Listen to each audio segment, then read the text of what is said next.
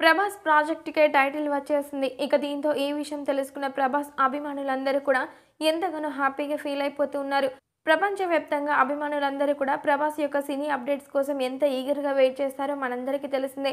మరి ముఖ్యంగా చెప్పాలంటే ప్రభాస్కి మాత్రం దేశవ్యాప్తంగా కొన్ని కోట్ల మంది అభిమానులు ఉన్నారని చెప్పడంలో ఎలాంటి సందేహం లేదు. మరి ప్రభాస్ కోసం ఏకంగా ప్రాణాలు ఇచ్చేంత అభిమానులు ఉన్నారని చెప్పడంలో ఎలాంటి అతిశక్తి కూడా లేదు.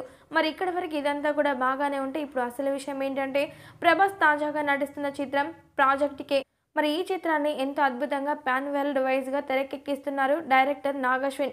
అయితే మరి ఇంతకీ ప్రాజెక్ట్కి అంటే అర్థం ఏంటి? ఈ సినిమా యొక్క టైటిల్ ఏంటి అంటూ అభిమానులు అలాగే సినీ ప్రముఖులందరూ కూడా ఎంతగానో ఈగర్గా వెయిట్ చేశారు ఈ యొక్క ప్రశ్న కోసం. అయితే మరి ఈ యొక్క ప్రశ్నకి సమాధానంగా తెరదించింది మూవీ మేకర్స్ అని చెప్పాలి. ఇక అసలు విషయం ఏంటంటే ఈ మూవీకి కల్కి two eight two nine AD అనే టైటిల్ని ఫిక్స్ చేశారు మేకర్స్. అంటే ఈ యొక్క అద్భుతమైన టైటిల్ని చూసి ప్రతి ఒక్కరు కూడా ఫిదా అయిపోతున్నారు. మరీ ముఖ్యంగా చెప్పాలంటే ప్రపంచాన్ని చీకటి కుమ్మేసినప్పుడు ఒక శక్తి ఉద్భవిస్తుంది. అప్పుడు అంతం ఆరంభమవుతుంది. అనే డైలాగ్తో మొదలైన ఈ గ్లీమ్స్ చూసి ప్రభాస్ ఫ్యాన్స్ అందరూ కూడా ఫుల్ ఖుషి అయిపోతూ ఉన్నారు.